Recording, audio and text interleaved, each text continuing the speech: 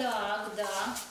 В этом году Чита Опиных планирует отметить новоселье. Большая квартира, где смогут развернуться супруги с тремя маленькими детьми, была куплена в этом году. Ремонт в новом жилье практически закончен.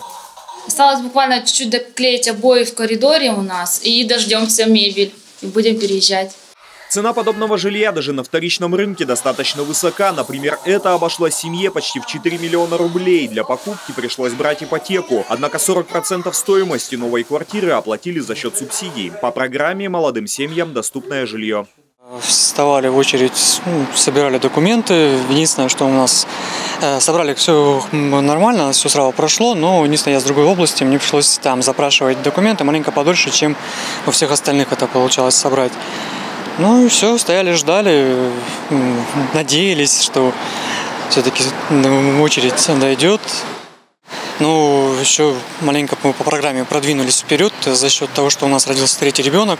И как многодетная семья мы э, пере, ну, нас продвинулись прежде начала очереди. Получить аналогичную субсидию могут супруги до 35 лет, нуждающиеся в улучшении жилищных условий, то есть 13 квадратных метров на человека. Оба должны быть прописаны и трудоустроены в Ангарске. Документы, подтверждающие право на получение субсидий, принимают в Комитете по управлению муниципальным имуществом.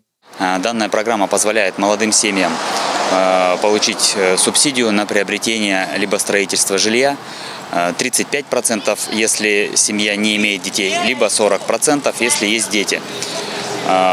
Программа работает с 2015 года на нашей территории. За этот период времени 224 молодых семьи получили выплаты.